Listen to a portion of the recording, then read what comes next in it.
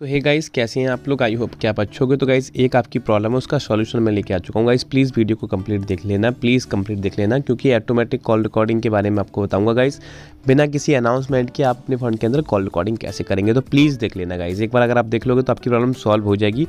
और Google dialer के अंदर ही आपको कॉल रिकॉर्डिंग का ऑप्शन मैं देने वाला हूँ, बिना किसी अनाउंसमेंट के। तो प्लीज़ वीडियो को कंप्लीट देख लेना, ठीक है? सबसे पहले गाइज़ यहाँ पे हम गूगल डायलर में जाते हैं, ठीक है? आपके सामने यहाँ पर हम नंबर डायल करते हैं। ठीक है? और आपको हम सुनाने वाले हैं। तो मैं यहाँ पर नंबर डायल कर दिया आपका स्वागत है। This call is now being recorded. तो गाइज़ आपने सुना यहाँ पे this call now is recorded ये आपको अनाउंसमेंट देखने को मिलती है। इसको मैं बंद करूँगा आपके सामने। प्लीज़ गाइज़ प्लीज़ वीडियो को कंप्लीट देख लेना। सबसे पहले हम क्या करेंगे गाइस सबसे पहले यहाँ पे आपको जाना है प्ले स्टोर के अंदर गाइस यहाँ पे।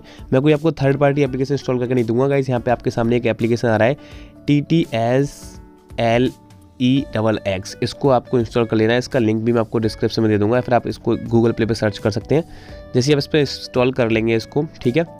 इंस्टॉल करने के बाद गाइज़ यहाँ से आपकी जो जे दो सौ के बी की फ़ाइल है इंस्टॉल हो जाती है बहुत जल्दी। ठीक है गाइज़ इसको इंस्टॉल करने के बाद आपको क्या करना पड़ेगा गाइज़ आपको जाना है अपनी फ़ोन की सेटिंग के अंदर। तो चलिए यहाँ से हम फटाक से अपनी फ़ोन की सेटिंग के अंदर चलते हैं, ठीक है? क्योंकि गाइज़ जो जो सेटअप मैं आपको बता रहा हूँ ना गाइज़ ये प्रॉपर वर्क करता है। यहाँ पे आपको सर्च करना है टेक्स्ट टू टेक्स्ट ठीक है? टेक्स्ट टू स्पीच यहाँ पे आपको क्लिक करना है टेक्स्ट टू स्पीच आउटपुट वाले ऑप्शन पे इस पर क्लिक करेंगे। इस पर क्लिक करने के बाद गाइस यहाँ पे आप नीचे की तरफ़ आएँगे, नीचे आप देखेंगे तो यहाँ पे आपको एक ऑप्शन मिलेगा टेक्स्ट टू स्पीच का। इस पर आपको क्लिक कर लेना है। इस पर क्लिक करने के बाद गाइस यहाँ पे आपको प्रेफर्ड इंजन पे क्लिक करना है। और यहाँ पे गाइज़ आपका स्पीच सर्विस बाई गूगल होकर रखा है ना, इसको आप कर लेना है T T S L X T T L S X भी क्लिक क्लिक कर लेना है आपको और ओके पर हम कर लेते हैं क्लिक गाइज़ ओके करने के बाद आपको क्या करना पड़ेगा गाइज़ अब आपको सिंपल तरीके से आपका जो डायलर है ना इसको प्रेस एंड होल्ड रखना है। इसके ऐप इन्फो के अंदर आपको जाना है। इसके अंदर जाने के बाद गाइस यहाँ पे आपको क्लिक करना है। स्टोरेज स्टोरेज एंड चेस पे इस पर क्लिक करेंगे और यहाँ पे आपको क्लियर स्टोरेज कर देना है।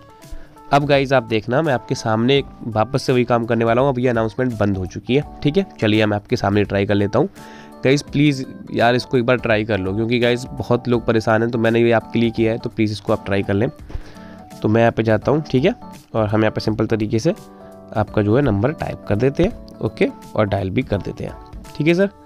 जैसे ही मैं डायल करूँगा, अब आप देखें, आप ध्यान से सुने, अब आपकी जो ऑडियो जो है, वो अनाउंसमेंट नहीं होगी। पिछली बार हुई थी, अब की बार नहीं होगी। चलिए, मैं आपको दिखाता हूँ, जैसे डायल करने के बाद।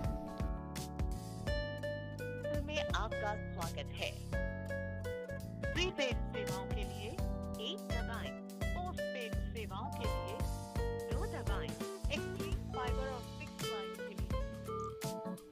तो गाइज़ यहाँ पे मैंने आपको दो बार ट्राई करके दिखाया और दोनों बार इसने आपका जो ऑडियो है वो नहीं दिया। तो गाइज़ प्लीज़ इसको एक बार अपने फ़ोन में ट्राई कर लें। तो गाइज़ आई होप कि आपको हमारी वीडियो अच्छी लगी है। गाइज़ प्लीज़ प्लीज़ एक बार इसको ट्राई कर लें।